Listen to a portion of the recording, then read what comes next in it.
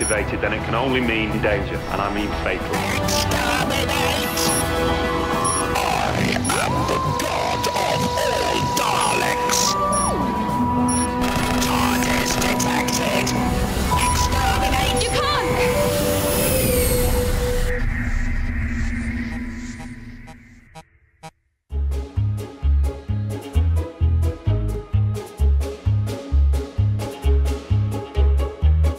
Everybody and welcome back to another brand new video where we reach the final um, episode in this series of videos looking back at series 1 of Doctor Who 15 years to the day after each episode aired. We do today of course reach the finale that aired exactly 15 years ago today. It was The Parting of the Ways. So yes it's quite a, a familiar, a well known, a well remembered and well loved I think finale to series 1, a still a very iconic series of Doctor Who that reintroduced the programme to a whole new series of fans um, and as you most of you guys know, I'm sure over the last 12 weeks I've been looking back at each episode as it aired, um, 15 years on. So if you haven't seen any of those, please do go and check them out now. Um, there's a whole playlist of them with all of them on there where you can just look at sort of hear my thoughts, having watched each of these episodes exactly 15 years on from when they aired, and just giving a few general thoughts and look back on them. Not sort of a pure review, but just a bit of context of them around the time and just, yeah, a little look back at each of them. Um, but today, of course, we are looking back at the parting of the ways. So I spoke about, I spoke last week about how um, this two-parter is one of my favourite finales to Doctor Who, and, and I absolutely uh, watching this second part again, I still completely agree that and feel that there's of course a lot of nostalgia, but I do fundamentally think that this is a great story, a great plot that's so well put together. The fundamental plot's there, but the production side also puts it puts it all together to create a fundamentally brilliant story that I think is such the perfect sort of cap off to series one of Doctor Who as a show. And it feels like I know Russell's talked about this in the past about how when he first, of course, wrote series one and they were putting it all together, they they had no idea whether in reality it was going to work or not for a wider audience and whether actually they'd do this 13 episode run, it'd be great, but that they would never get any more of it and this would all be all there was of this sort of one off Doctor Who reboot type thing. They just didn't really know whether it would go anywhere. And I think that even if it hadn't, this would have this was such an excellent self-contained series in many ways of telling this story of the of the Ninth Doctor coming off the back of the Time War and how he's been so affected and impacted by that decision he had to make of wiping out all the Daleks and all of his own people, the Time And doing that and being responsible for that. And it's something that's gradually in different ways explored through this series, often using Rose as a way to kind of try and rein him back in a little bit and show him the error, sort of that he doesn't have to be like that anymore, that he, he can change and become a more sort of not caring person, but a more um, understanding person, and more willing to to change from that person who destroyed all of his own race. It's explored a lot in Dalek, of course, and then sort of reaches ahead really in this two part this two part finale where he's kind of presented with the same dilemma all over again of wiping out all the Daleks and all the humans on Earth, and that that moral dilemma of could he actually do it all over again? And of course, it sort of brings us to this seminal moment where he's got his hands on the trigger, as it were, to kill all Daleks and all humans alike and he realizes that actually in this moment he is a coward and that he's a coward any day as he says it's, it's a great line. And and realizing that that actually he isn't the same person that he was in the time war. He's not the war doctor anymore and that he can't do this. He can't wipe out all these people all over again these innocent lives. He just cannot do that because he it's almost like he's become the real doctor again rather than what we obviously we term as the war doctor but this other person who came, who who became the doctor but in the time war but ultimately wasn't really the same person.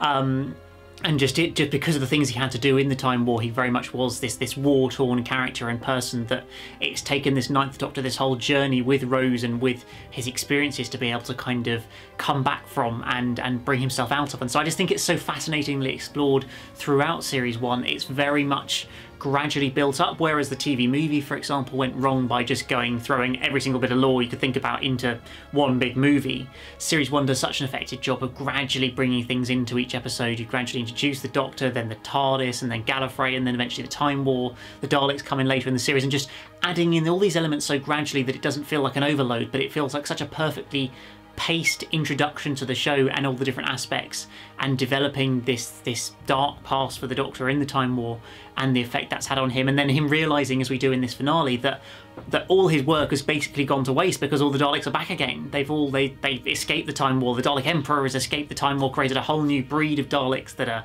half human to an extent, even though they don't want to admit it, and are so dangerous. And it just feels like he's completely wasted all the pain and destruction and strife he's gone through, the fact he wiped out all his own people feels such a waste. And so I think just part of that, among everything else, and the way his character developed, makes him realise that actually he's not going to do this again. This isn't the right thing to do. This isn't what the Doctor should do.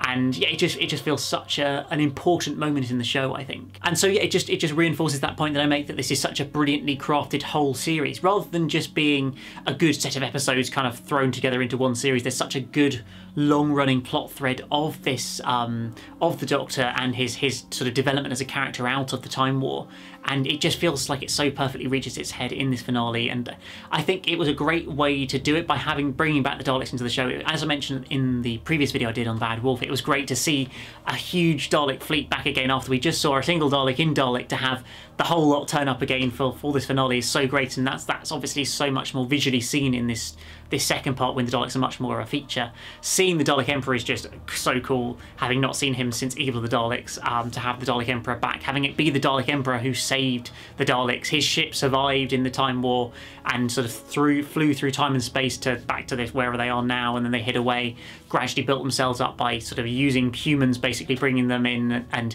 find trying to find cells of them to be able to use to be able to put into Daleks to create Daleks out of them, which is actually something I completely forgotten about this story. Was that's that's the whole plot line was that they were using humans and cells of human beings to create the mutations and create the Daleks that they could then put in these cases and, and create these these these destructive creatures. Um, and that that sort of fascinating idea the Doctor gives that the Daleks hate their own existence because part of them is not Dalek, part of them is impure, part of them is not acceptable to themselves, and so they hate who they are, but that means they just want to be as destructive and deadly as possible to just create more and more Daleks and conquer the universe because they hate their own existence. I love that idea, and I think it's what makes these Daleks so dangerous and destructive. And in many ways, I think this story shows the Daleks at maybe their more most destructive they've ever been. I don't. I almost feel like this is the best appearance of the Daleks in the whole of New Who. It's a bold claim, I know, but I just feel like there's no other story where you see quite so much ruthless destruction from Daleks, so much determination. The amount of people they kill off in this story is bonkers, and is not really something that we ever visually see, at least, in any other Doctor Who story that I can think of. Certainly in New Who, there's so many more stories in the future where they don't really do anything much and they don't actually kill many people. Of course, the Moffat era in particular had a real problem with that. But even I think Stolen Earth and Journey's End, as much as the there's the implication of destruction, and there's lots of moments where sort of there's general destruction and obviously destroying the Earth and all these planets and things like that.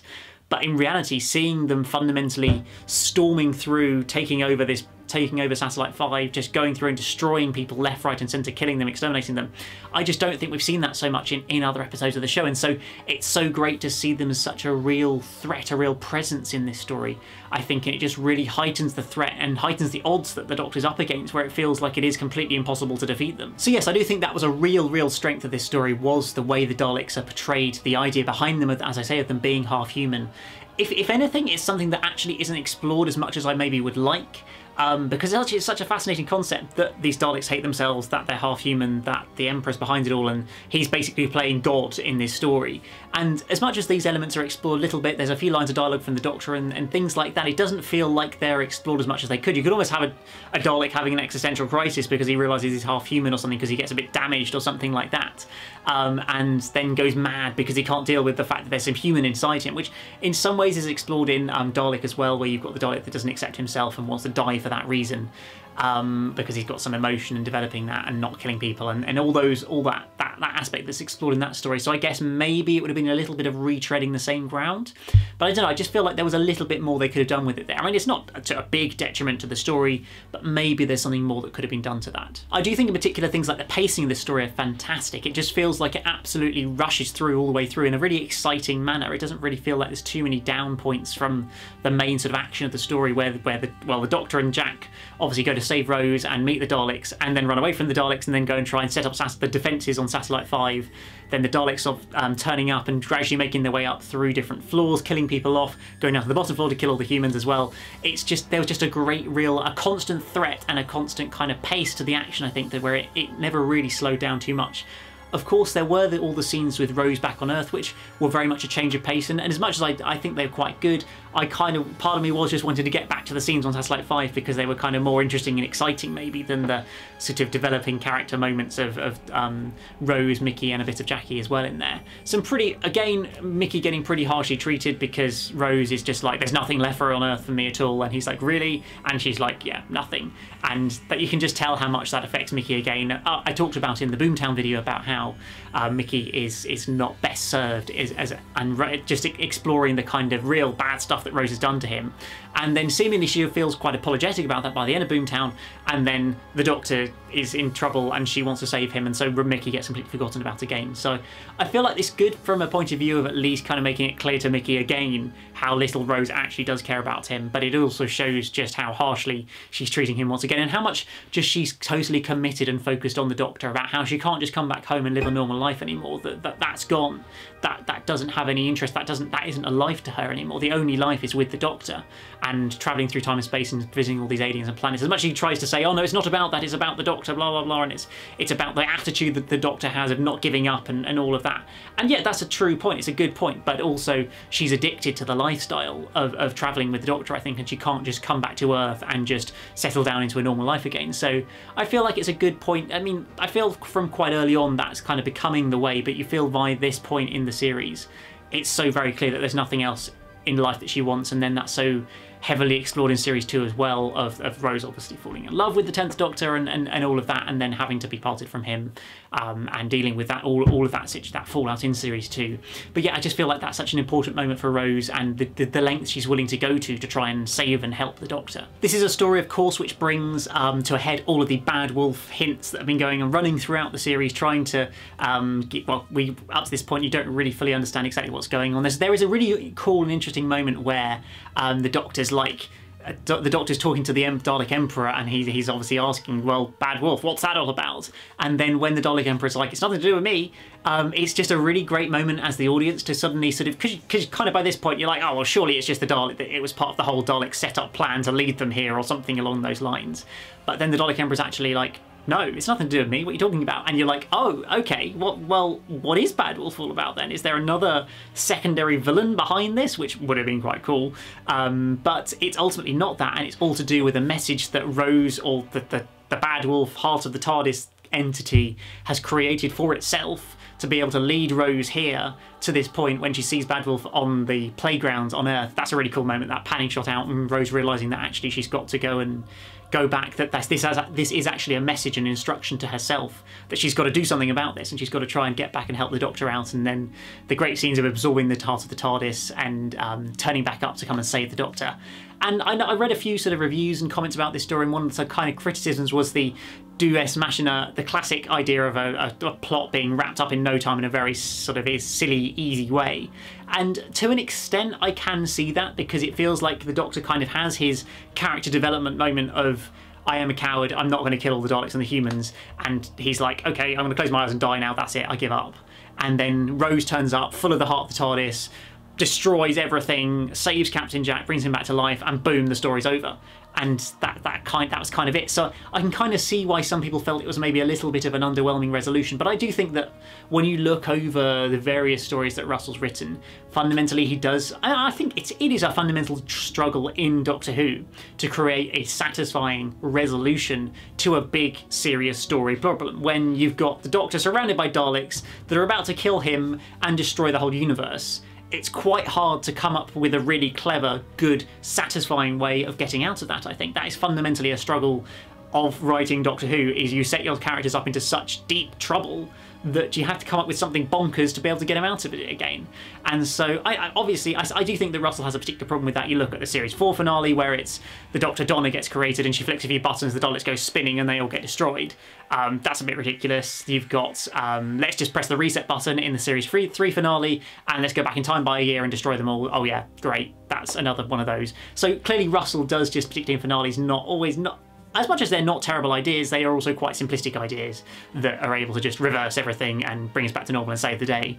Um, I think it does make really good sense though with the whole Bad Wolf story arc that we're going through with this word being seeded into all these different adventures as a kind of constant warning to Rose that something important is going to be needed from this and to then have that explored in the finale, I think is a good idea. I think that works really, really effectively in bringing it all together. It's one of the better kind of word arcs of, of a series that Russell used to do because Torchwood is kind of not really going anywhere. It's just, oh yeah, there's this institute called Torchwood. Oh right, what is it? Yeah, that's what it is. We find out in the finale. And then Saxon being mentioned, Vote Saxon and stuff, it just turns out that, oh, the Master's the Prime Minister. I don't feel like they had quite a big sort of payoff as what Bad Wolf did um, in giving Rose this this moment of being a god, like the ultimate god, that, that actually sort of it's it's almost that the, the Emperor Dalek is being a fake, a false god who wants to be god, but he can't quite be it because he doesn't have that power.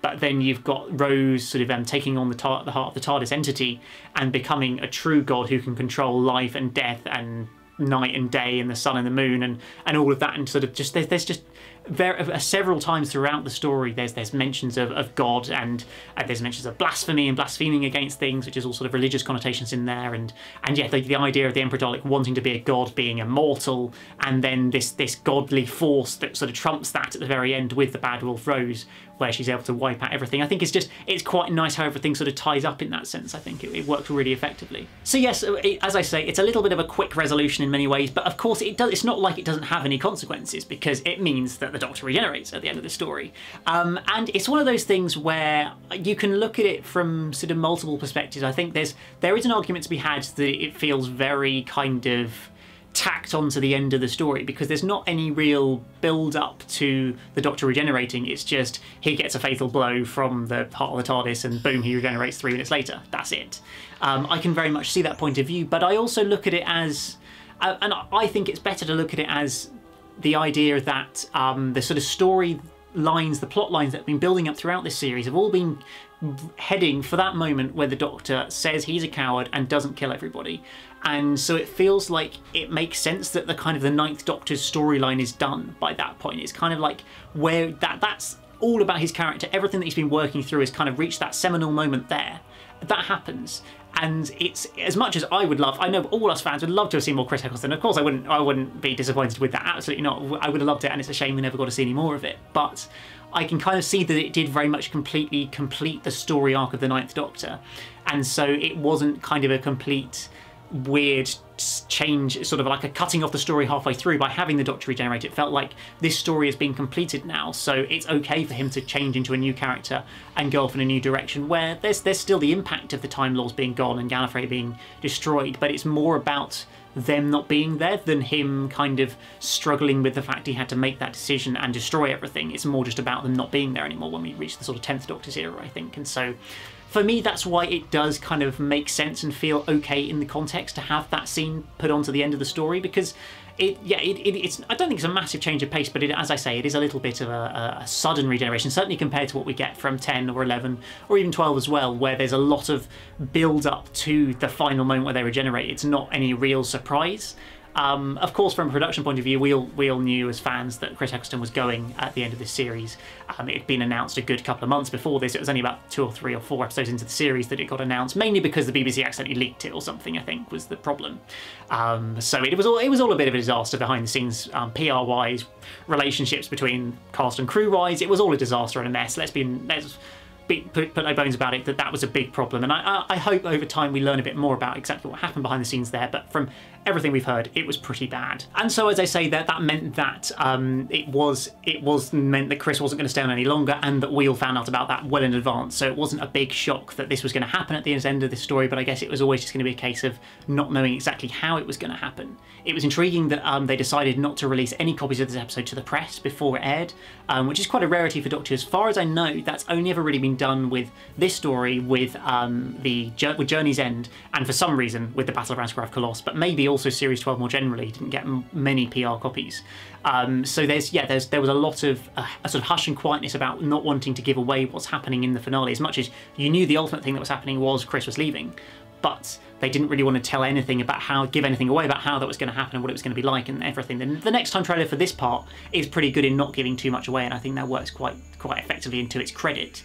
Um, and I think ultimately it is a fantastic regeneration scene. There, there, there's no denying it's it's a much more positive and uplifting regeneration scene than what we see, particularly from um, David Tennant and Matt Smith's, which are very, very sort of played for an emo- emotional point of view.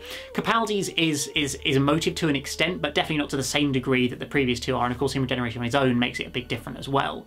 Whereas as as Chris Eccleston's Ninth Doctor does feel very much more sort of accepting of what's of his fate and that that's happening. There's no I don't want to go or I'm, I'm really sad about this. No, I don't want to generate. Uh, it's it's a. Uh, uh, I've had a great life. Um, you were fantastic, and so was I. And then regenerating, and it's just such a great sort of as much as it's a sad moment that he's regenerating, it's also a very kind of positive way of doing it that I'd, I'd, I'd like to see more often in, in New Who, I think, because as much as they were occasionally emotive affairs in the classic series, it was much less so kind of the emotional aspect put onto it. And I think it just depends on the different characters to play the Doctor. Um, I'm certainly going to be intrigued to see what happens when Jodie regenerates as to what route they go down with that. But um, yeah, I just think it works so perfectly for Chris. It's such a great, just a great scene that was so well performed by the two of them. Um, the regeneration effect itself is still pretty good. It's, it's clearly dated a little bit, but I still don't think it looks particularly bad. Um, and then seeing David in his first line or two, there's also a really effective moment and a great way to sort of end the story on, um, which I just think is it, it just really tops off the series. And, and, and as I say, it just completes this self-contained series one that, although of course you get a new Doctor at the end of this point, and it means therefore it kind of feels like it needs to carry on it feels like because he regenerates at the end of this this series, that this series can be one self-contained series that could have just stood on its own without any anything ever coming after it, and would have just been a great 13 episode run of Doctor Who that, that would have always been remembered, but wouldn't have gone anywhere. And I think that, that that would have worked because it was so well written and so well crafted into one piece of drama. So yes, overall, this really is one brilliant finale to a series of Doctor Who. It's it's definitely one of my favourites, if not my favourite Doctor Who finale there's ever been um, in the show. Series one as a whole is definitely in my sort of top three or four all-time favourite series as well. It's just it's just there's so few bad episodes. There's so many great episodes. As I say, as a whole plot line to the whole series and the, the sort of developing stories around the Doctor and around Rose and and all of that, it just works so so well. I think that it's just such a brilliant overall series. Of course, there's nostalgia for me because I watched it in 2005 and I've watched it many times since. Um, but yeah, it's a series that I've always loved and will always remember. But guys, please do put in the comments below your thoughts on The Parting of the Ways. And if you like the series one more generally as well, but what are your thoughts? What are your recollections? Did you watch it at the time? Um, because I certainly did. I can't really remember much about watching it at the time, but I definitely did watch it when it aired. Um, so if you if you did, let me know in the comments below about that. But just any other thoughts you've got in it, I'd love to hear them. Um, but that's about it from this video. I am hoping maybe, I'm not 100% sure of doing some sort of series one look back, sort of just a final video to sort of top this series of videos off with a, a look back over the whole series. Maybe with somebody else as well. I might be getting somebody on the channel to do it with. Um, it's still in the planning phases, but hopefully that will all come together in the next maybe week or two, just to kind of cap off this final series because it's a great series. It's always great to talk about it, and of course it's 15 years this year since it aired. Um, but yeah, guys, I hope you have enjoyed all of these videos, this series of videos. But as always, remember, guys, remember to hit that like button, that's a subscribe button if you're new here, and I'll see you again very soon for a brand new one. Goodbye. Before I go, I just want to tell you you were fantastic. And you know what? So was I.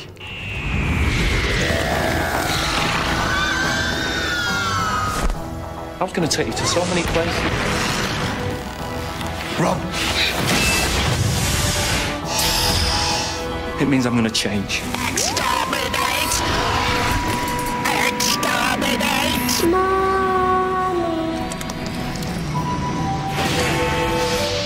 You never know what you're going to end up with. Hello.